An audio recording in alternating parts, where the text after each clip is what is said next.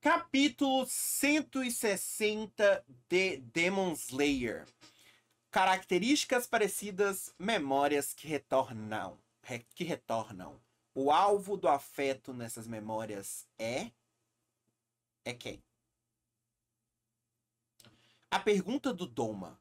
Já nos encontramos antes? Eu não lembro de ter encontrado um verme como você. Não toque no meu pelo com essas mãos nojentas. Nananina, não. Já nos encontramos sim, eu te conheço. E, e eu não eu estou dizendo que não, verme. Quem eu já encontrei uma vez foi a Shinobu. Shinobu sinto que já encontrei antes.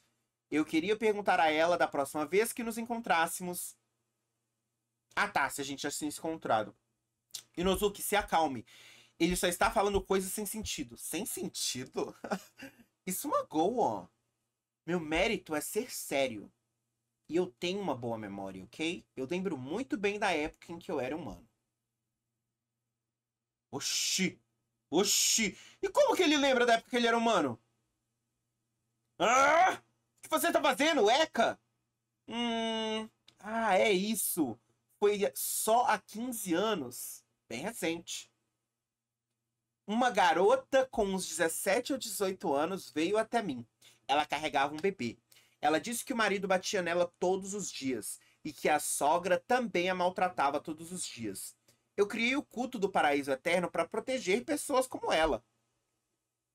Ela não tinha pais ou irmãos e não tinha ninguém de quem pudesse depender ou lugar para ir. Quando a conheci, o rosto estava tão inchado que eu não conseguia distinguir a forma dele. Foi uma coisa horrível. E ela ficou cega de um olho por causa das surras do marido. Mas o rosto dela voltou ao normal depois do tratamento. Ela era bonita, então me marcou. Ela tinha o rosto igual ao seu, mas o dela era mais delicado e macio. Aposto que era sua mãe. Sim, sim, não há dúvidas. Caraca, mano! Mas como assim ele cuidou dela? E ele falou, quer ver? Que ele falou aqui, ó. Ele era humano. Então ele é recente, ele virou recentemente, então. Eu não tenho mãe, eu fui criado pelos javalis. Ela não tem nada a ver comigo. Então o javali te deu a luz a você. Você é humano, então uma humana deve ter dado luz a você. Ai, entalei aqui agora. Você é humano, então uma humana deve ter dado a luz a você. Cala a boca, seu lixo! Devolva isso! Que Damono no Kokyou Hoku no Kiba, respiração da besta, sexta presa. Ino! Ei! Ouça até o fim. Esse encontro é como um milagre. Nossa senhora!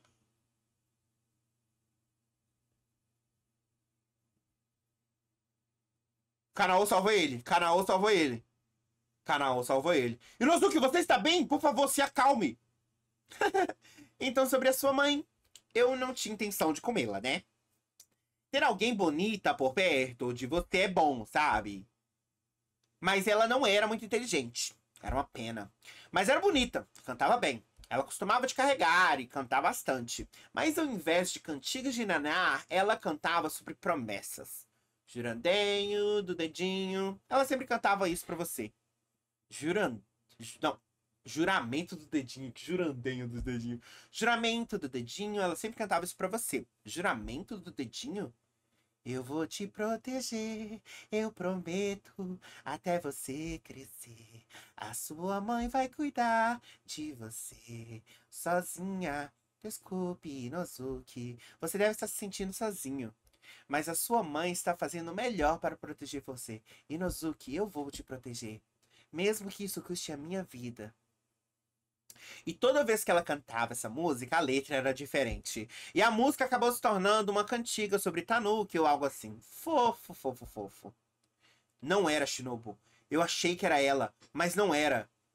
Eu não ia comê-la. Eu planejava deixá-la viva até mor que morresse. Mas a sua mãe, ah é, a Cotorro, era perspicaz, apesar de ser idiota. Ela descobriu que eu estava comendo meus seguidores. Olha que, que bagulho estranho, né? E apesar das explicações, ela não conseguiu entender a minha bene bene benevolência. Tipo, Mona, eu só tô comendo mulheres porque é nutrientes bons. Era insulto atrás de insulto. Ela disse que eu só espalhava mentiras. Imagina que absurdo. Então ela fugiu do meu templo e correu. Desculpe, Nozuki. Desculpe. A sua mãe é tão idiota. Eu sempre cometo erros. Eu sempre escolho o caminho errado. Desculpe, desculpe. Eu sou sua mãe. Preciso cuidar bem de você. Mas. Eh, não, eu, eu não sei o caminho. Eu me perdi. Onde é a vila?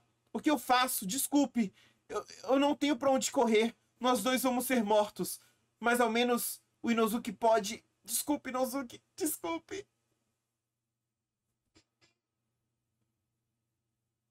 Ele matou ela. Ele matou ela? Plop. Não tem como você tê-lo salvo jogando daqui. Você foi idiota até o fim. Doma matou ela, mano. Caralho, que desgraçado. E pensar que ela morreu porque a mãe o jogou do penhasco. Que triste.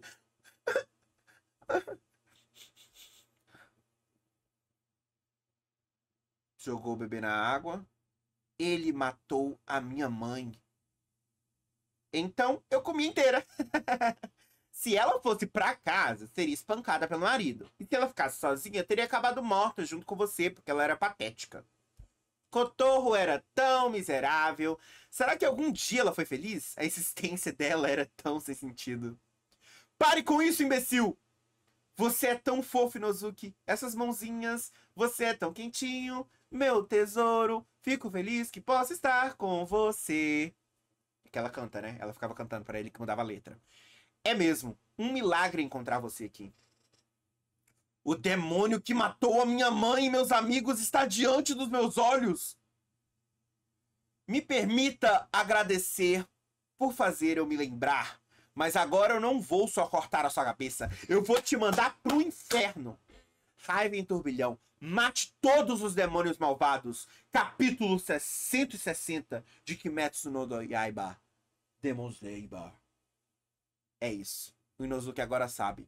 Então, nesse capítulo, nós descobrimos que a mãe do Inozuki foi morta pelo Doma porque, por algum motivo, ele quis deixar ela viva. Só que, pela desobediência, ele matou ela. Ele foi jogado no, na água, ele sobreviveu na selva.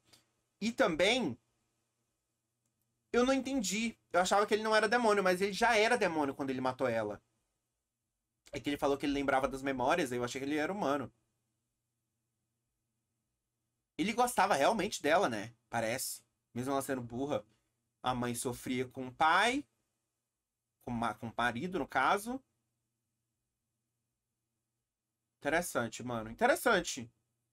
Interessante essas conexões. Então quer dizer que as, os personagens que estão aqui, eles têm mais conexões com os duas do que a gente imagina, né? Que a gente fica pensando como que eles iam conectar as coisas, mas eles estão conseguindo conectar. E o Doma segue sendo um maldito. O Inozuki, então, ele também lembrava da mãe dele quando olhava pra, pra Shinobu, é isso? É isso, né? Ele achava que ele lembrava da Shinobu, mas era da mãe dele que ele tava lembrando. Caraca.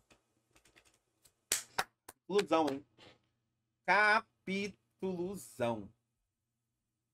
Rafa, cantor, dublador, youtuber. O cara é tudo tudo. Ele foi papai do Nozuki mesmo. ah, ele foi pai. Ele é pai do Nozuki.